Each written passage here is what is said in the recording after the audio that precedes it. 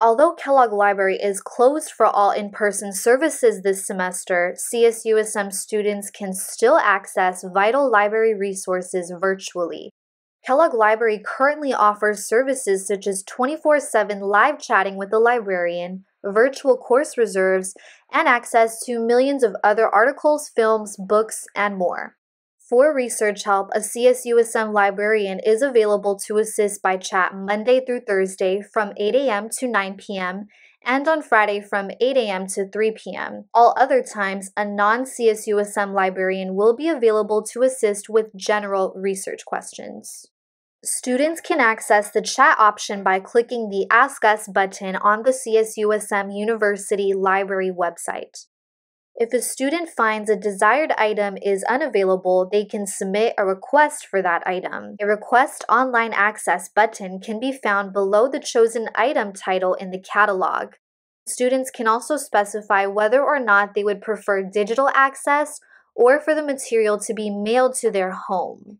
Starting on October 1st, the library will be offering a contactless locker pickup system where students can request to pick up various materials on campus. Lockers have been installed on the second floor of the library entrance, and user services is working diligently on perfecting the pickup system.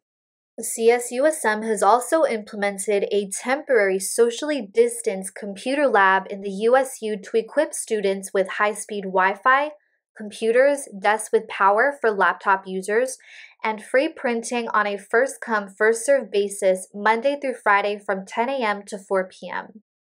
The IT Help Desk is also open to students seeking technology support Monday through Friday from 10 a.m. to 4 p.m. by appointment.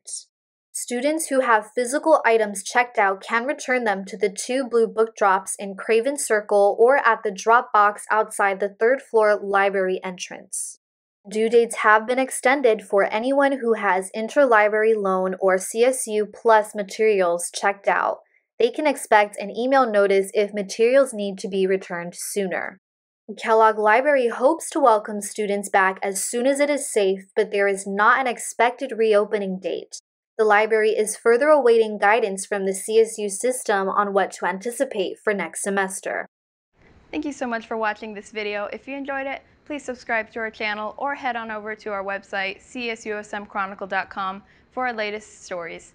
And if you'd like to support us in our mission of educating and empowering the next generation of journalists, um, please consider donating or advertising with us at csusmchronicle.com slash advertise or csusmchronicle.com slash donate. Thank you.